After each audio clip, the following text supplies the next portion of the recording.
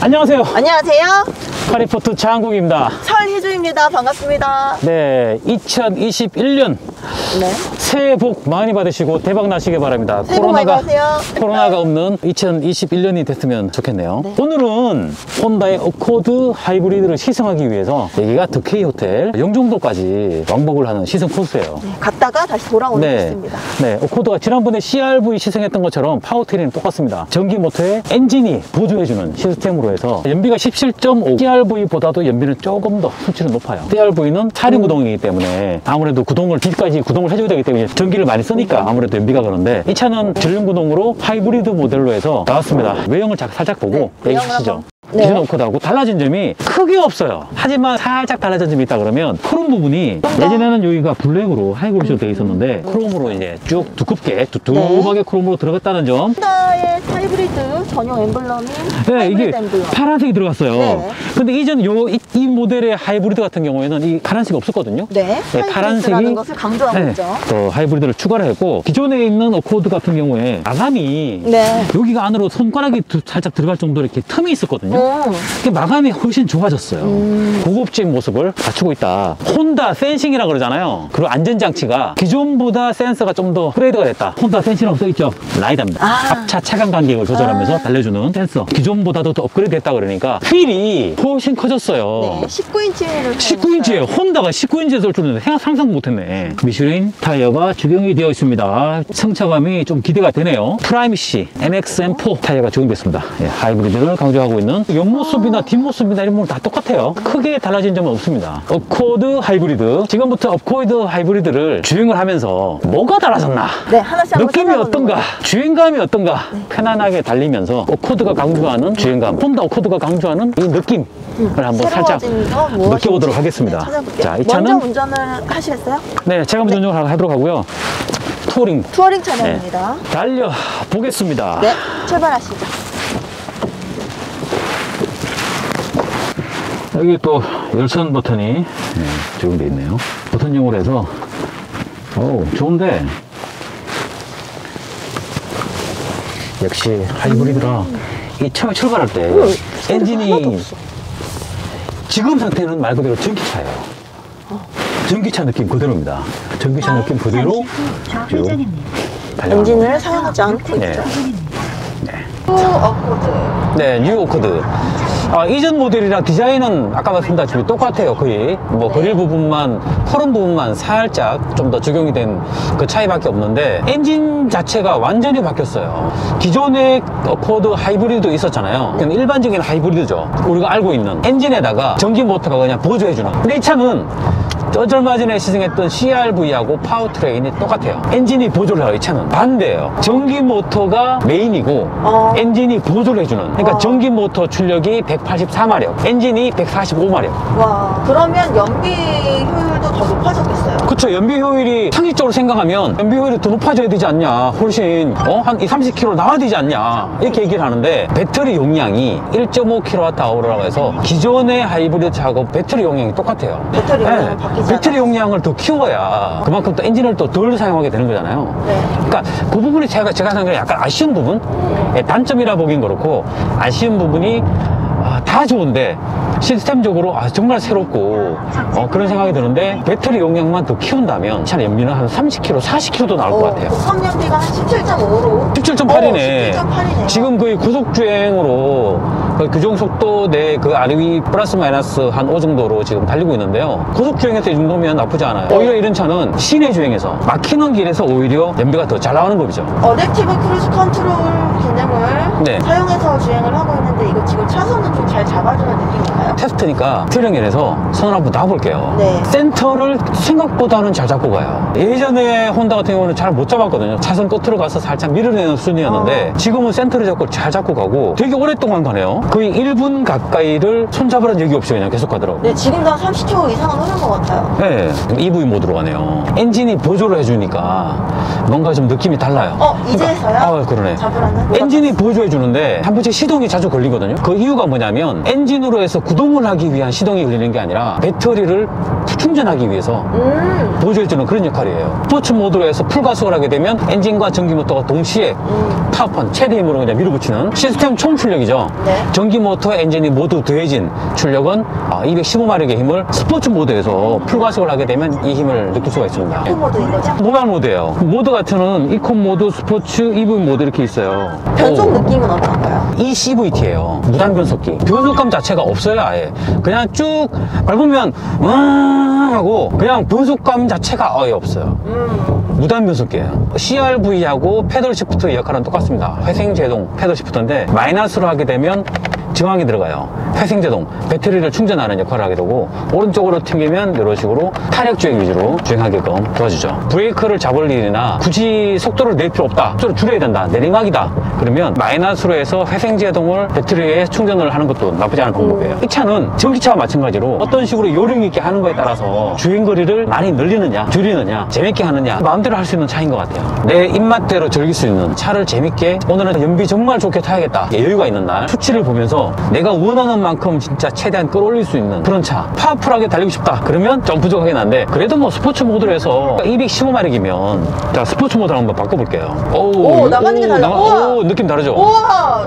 우와! 갑자기 변하는데? 나가는 게 확실히 오, 다른데? 잠깐만. 이게 이거 재밌네. CRV하고 완전히 다른데? CRV는 그행음만 내고 차가 잘 안 나가는 느낌이었어요. 이 차는 생각보다 잘 어, 나가는데? 네, 네, 네, 네. 저 속으로, 어, 뭐 별 차이 뭐 있겠어. 이런 생각했는데 누르자마자 차이 가 차가 달라지죠? 굉장히, 네. 차가 갑자기 돌변하는 느낌이에요. 돌변해요. 네. 오, 자. 그렇구나. 재밌는 차다. 자, 나의 감성을 느껴봐. 이러면서 이제 한번 밟아줘 볼래? 이렇게 얘기하는 것 같아요. 밟아줘 볼래? 와, 되게 뭐랄까, 주행이 탄력 있다고 해야 되나? 소리가 그렇게 안 들려. 어, 이 방음이 성차감 자체도 완전히 차체 무게가 낮아서 그런지 모르겠지만 성차감도 달라졌고 엔진으로 들어오는 호빗 때는 엔진 소리도 많이 차단이 됐고요. 이 양쪽에 바람 소리도 정말 많이 차단이 된 것 같아요. 오, 이 맛이 있네. 맛있네. 이런 맛이군요. 뻥 튀겨 나가는 느낌은 아니지만 그래도 주행감 자체가 나쁘진 않은 것 같아요. 주행 질감 자체가 싼 티가 나지 않고 약간 완전히 럭셔리하진 않지만 고급진 주행 감성을 보여주는 것 같아요. 싼티 나지 않고 스피커가 10개로 지금 늘었죠? 그리고 스티어링에 버튼들이 정말 많아. 오른쪽 같은 경우에는 주행 보조 장치가 들어가 있는 음, 어, 버튼들이고요. 이걸 누르면 head-up display의 상황도 바- 바꿀 수가 있는 건가요? 어, 네, 맞아요. 누르게 되면 head-up display에 엔진의 차지와 파워, 이 감성, 그 그래픽으로 보여주고요. 주행 보조 장치가 지금 어떻게 작동하고 있는지 화면을 보여주고, 내비게이션, 어. 약도 화면이 와. 이렇게 보여줍니다. 지금 총 그럼 화면이 한 세 가지 정도. 저는 예전부터 헤더 디스플레이의 화면을 내가 좋아하게끔 맞춰서 좀 보고 싶다라는 생각을 했었는데. 네. 어 이거 괜찮네요. 목바지. 목바지의 모양이. 목바지 디자인이 좀 특이해. 특이해요. 예. 네. 근데 이게 움직이진 않아요. 어? 아래 위로밖에 움직이지 않는데, 이 앞뒤로는 움직이지 않는데, 그래도. 잘 받쳐주는 것 같아요. 네, 잘 받쳐주는 것 같아요. 감각적인 디자인은 아니지만 편하면 되잖아. 그렇죠. 이 혼다 차 같은 경우 시트 자체가 좀 넓은 편이에요. 네, 그런 이게 것 같아요. 허벅지가 크다든가 덩치가 큰 분들이 타시기에 잘 잡아주는, 잘 안착감이 좋은, 안락한 면에 있는 그런 시트 디자인입니다. 그리고 무릎 길이도 꽤 긴 편이에요. 네, 긴 편이에요. 네, 긴 편이에요. 잘 끝까지 잘 잡아주는 것 같아요. 그리고 뒷좌석이 꽤나 넉넉하게. 네. 있을 건 다 있네요. 무선 충전도 지금 되고 있고, 이 같은 경우 지금 안드로이드 오토로 꽂았잖아요. 네. 근데 무선으로 돼요. 선을 꽂지 않고 안드로이드 오토가 되는 거예요. 어. USB 포트가 4개가 있어요. 앞에 2개. 네, 뒤에 두 개. 뒤에. 네. 혼다차는 항상 느끼지만 계기판 시인성이요. 네. 너무 좋아요. 폰트 자체가 눈에 잘 들어오는 그런 계기판을 사용해요. 항상. 그리고 버튼들의 작동감 자체가 큼직큼직하면서도 터치감, 감촉 자체가 느낌이 있어요. 옆자리 쪽 느낌은 어때요? 어떤 것 같아요? 출발할 때부터 지금까지 네. 되게 어, 미끄러지듯이 음. 유한 느낌이에요. 이게 음, 지금 안- 부드럽게 안- 그냥 차분하게 가는 네, 느낌. 차분하고 유한 느낌. 음. 편안해요. 기술력이나 차 자체는 잘 만든 차다, 잘 만든 차다, 좋은 차다라는 생각은 있는데 자 이제 희주씨가 운전을 한번 제대로 하겠습니다. 자, 뿅! 아, 자리를 바꿨어요. 잘 나오는 것 같아요? 어, 예, 예. 지금 시원하게 잘 나와요. 네. 제가 그렇게 근데- 발가락 다섯 개를 다 올린 상태가 아니었거든요. 아, 발가락 뭐 네 개, 예. 네 개 발가락 올린 거야? 예, 한 새끼 발가락 좀 떼고 이제 네. 그 정도면 이렇게 아, 이렇게 올렸는데? 굉장히 시원해요. 발가락 다 안 올렸답니다. 운전석에 앉았다가 옆자리에 앉으니까 주행 질감 자체가 조금 더 다 느껴져요. 차분해요. 노면 자체를 살짝 걸러주면서 탑승자를 좀 편하게 해주는 그런 듯한 느낌이 있는 것 같아요. 운전석은 시트 자체를 위아래 올리고 무릎도 약간 올릴 수가 있고 조절이 가능한데 시트를 높이고 싶은데 높일 수는 음. 못하네요. 앞뒤밖에 조정이 안 되고 등받이 조절이랑 앞뒤 조절만 움직일 수가 있는 컨트롤만 되네요. 가격이 4,700만 원대로 네. 형성이 되어 있는데 이 가격은 어떻게 보세요? 비싸다기보다도 그냥 적당한 가격인 것 같아요. 이제 비싸지도 싸지도 않은 적당한 가격. 소비자 입장에서는 좀 더 싸면 좋겠다라고 생각하겠지만 간단하게 평가를 해본다 그러면 뭐 적당한 가격이지 않을까. 음, 네, 물론 싸면 좋죠. 음, 제 생각에는 약간 높게 잡을 것 같아요. 기어가 버튼식으로 돼 있어서 네. 느낌이 어때요? 버튼식으로 눌러보니까. 아, 저는 이렇게 드득드득 하는 거 별로 네. 안 좋아해요. 제 차도 버튼식이 있는데 쓰다 보니까 지금은 버튼식이 몸에 익은 것 같아요. 저 같은 경우는 괜찮다, 나쁘지 않다는 생각이 들어요. 그립감도 두툼해요. 네, 그죠? 좋죠. 핸들이 steering이 약간 그립감이 두툼해서 이 steering을 잡고 있다는 느낌이 들고 좀 이게 핸들링을 하기에도 나쁘지 않고 네. 2열까지 엉따가 다 돼 있어요. 네, 그리고 수업까지. cooling 기능이 앞좌석에 통풍 기능까지 들어가 있고 그립에 열선도 들어갑니다. 열선 저 너무 금방 따뜻해져서 그냥 끄고 그리고 2열에 보니까 시트가 접히잖아요. 네 앞으로 눕히죠. 네, folding이 돼서 누울 수도 있겠지만 캠핑 장비라든가 스키라든가 긴 것도 충분히 실을 수 있는 공간이 된다. 장점인 것 같아요. 음. 장점인 것 같죠. 네, 6대4 folding이 됩니다. 단 한 가지 아, 배터리 용량을 좀 늘리면 네. 이 차의 효율성을 훨씬 더 늘릴 수 있을 것 같다. 네, 연비가 네. 30km까지도 충분한데. 음, 플러그를 꽂지 않은 PHEV는 아니지만 PHEV에 흡사한 배터리 용량 정도만 갖고 있으면 내연기관 자동차의 끝판왕이 되지 않을까. 전기차로 가기 직전. 바로 직전 단계까지 오게 네, 되는 그 거죠. 직전 단계. 또 있을 건 다 있네, 그죠? 네, 일단 기본적인 건다 네. 갖췄어요. 특별히 강조해서 좋다, 이거는 완전 획기적이다, 요거까지는 없어도 칭찬할 점이 생각도 못한 이 파워트레인을 만들었다는 거. 단점을 어떤 거 있는 것 같아요? 저는 좀 미적인 거, 네. 예쁜 거 이런 걸 좀 좋아해요. 네. 근데 실내가 좀 어둡지 않나.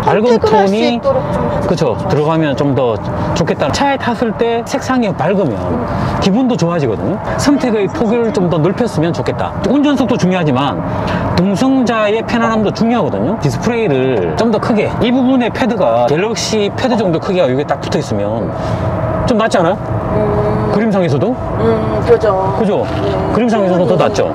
아니면 좀 이렇게 와이드로 간다던가 그죠? 아니면 이렇게 이렇게 위로 두 칸 정도 오 짱인데? 새로운 기술을 만들어낸다는 자체에 좀 점수를 많이 주고 싶네요 그리고 연비가 17.5잖아요 네.